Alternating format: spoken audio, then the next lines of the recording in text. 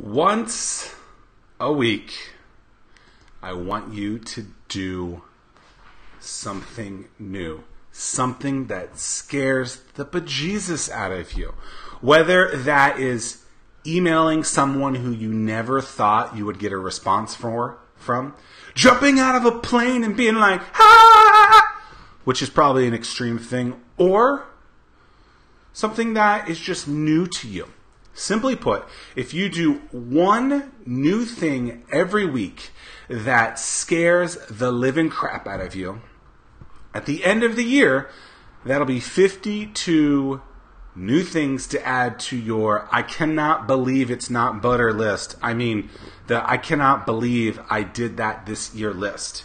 What you'll realize at the end of that 52 week experience is that your mind is what is holding you back. Your mind is what is controlling you from not becoming exactly what you want to be. So if you're afraid to call someone, do it just once.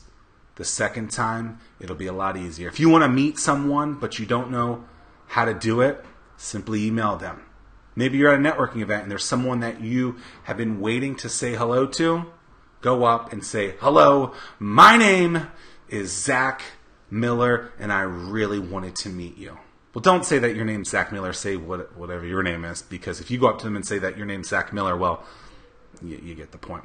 But by the end of the year, 52 weeks later, I don't care if you start today or next week or at the beginning of January 1. I'd rather you not wait that long. But at the end of that experience, here's what's going to happen you will have 52 new scenarios that at one point you were afraid of, but today will be the day number one, and next week will be day number two, and then three, and then before you know it, you're at 52.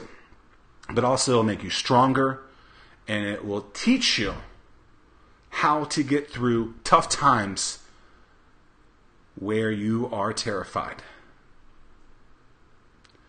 By defeating the things that terrify you in life,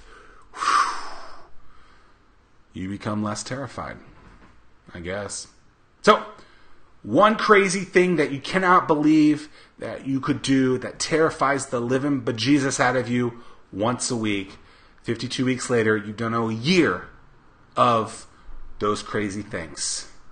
At the end of it, you'll thank me and you'll be happy that you did it. Start today, tomorrow, but within the next week. Deuces.